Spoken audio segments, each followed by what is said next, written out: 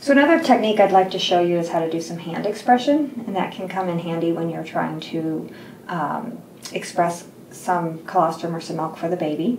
Um, early on, when you're in the first few days and making colostrum, uh, usually you're able to express just very small amounts.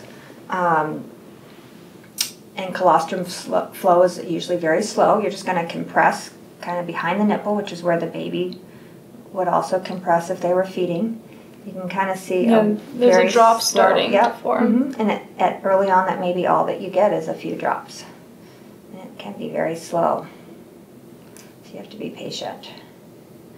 And then we can get a few drops like this, and we can suck that into a syringe and feed the baby.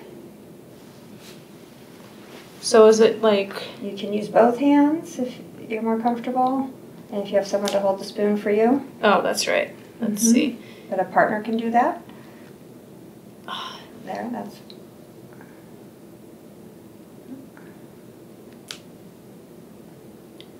So why? So I don't want to touch the nipple, or I do want to touch Usually the nipple. If you compress the nipple, it just blocks off the ducts, and you don't get. Okay. Very good emptying. Will this ever? Will I ever get more flow than this? Yes. So because this, this is going to take a long time. Yes.